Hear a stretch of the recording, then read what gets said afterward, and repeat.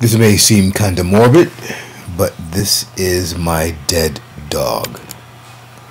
I can't seem to let him go. You see, he's not breathing. He died this morning.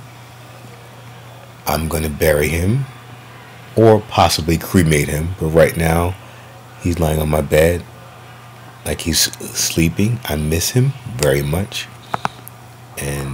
Um, hopefully it will get better. I'm it's a nice close up of him. He's beautiful. He was a beautiful dog, a beautiful man. Beautiful, beautiful, beautiful. Did I say man? Well, I'm sorry.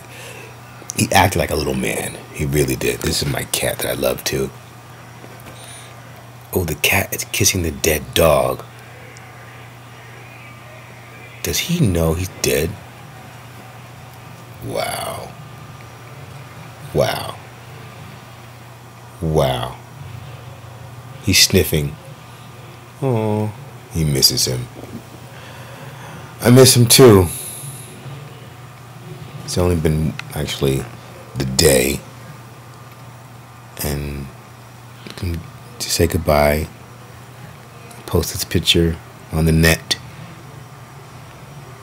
This is for all the lovers of bulldogs, you know, the love of animals.